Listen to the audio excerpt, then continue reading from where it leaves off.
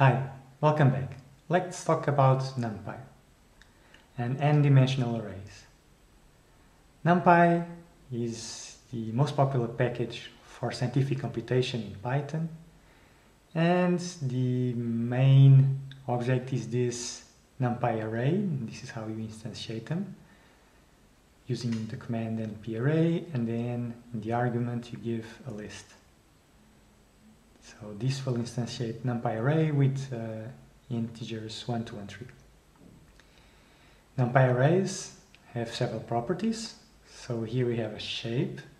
This is a one-dimensional array, and so the shape is the number of elements, in this case 3. This is how you would specify a two-dimensional array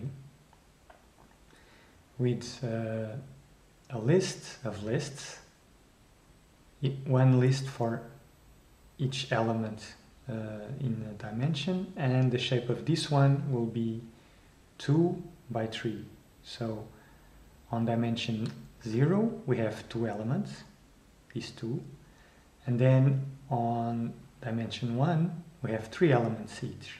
One two three. So let's look at the operations with numpy arrays. So um, the usual operations, they happen element-wise. So adding 1 to an array that has values 1, 2, 3, you're just adding 1 to each element. And it's the same with multiplication and with power. Okay, so now that we know about NumPy arrays, let's re-implement the ensemble statistics, but using NumPy and also uh, do an exercise looping with enumerate exercises 11 and 12. Then let's come back to the lecture.